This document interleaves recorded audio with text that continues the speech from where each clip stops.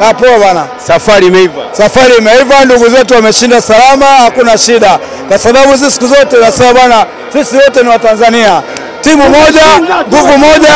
Simba akiingia nusu fainali ni kwamba faida yetu sisi wote wa Tanzania, ila nachoomba Simba washapita kweli, wamefunga wameshinda, lakini ndio wamezoea kufika robo fainali, lakini wakaenda kule, najua sio sana, lakini wameweka heshima ya uwanja wa Mkapa, uwanja wetu wa Taifa. Hiyo ndio ilichobakia, lakini Simba kufika robo fainali wamezoea, hiyo ni kawaida yao. Kwa unaona hawawezi kuvuka. kuvuka sio vizuri. Kwa kuvuka, mimi ni mwana sports, sio mshabiki. Simba amewafunga, lakini kupita ni ngumu, hata ukimuuliza mshabiki wowote wa Simba Mtani anataka umwahidi akivuka. Unamwahidi nini akivuka?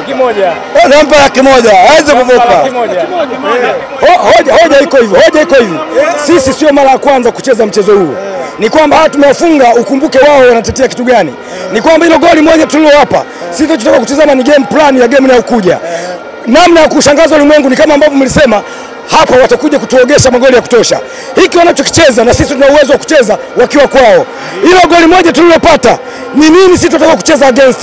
Kwa hiyo tunaamini sana kikosi tulicho nacho. Technical bench Unaona mtatoboa.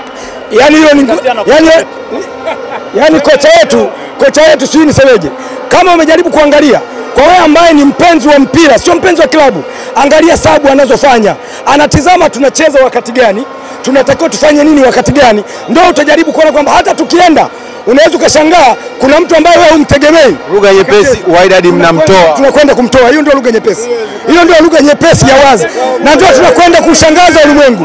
Huo ndio ukweli. Jamaa wametulia vibaya sana.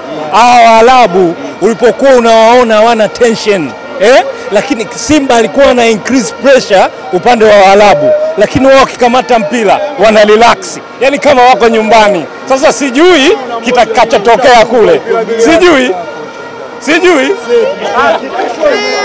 Ase, nafikiri mmeona hapa tumempiga bingwa mtetezi huyu, msisahau ni bingwa mtetezi wa Afrika.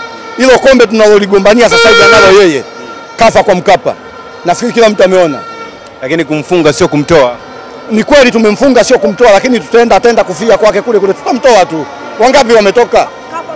Soka la Afrika kila mtu anatamba kwake. Ni kweli, mimi nimetamba kwangu goli moja na yeye akatambe kwake. Mimi nikifika pale, mzee, ulinzi tu, dakika 80 nafunguka, naweka moja, watu wale Anakufa. anakufa.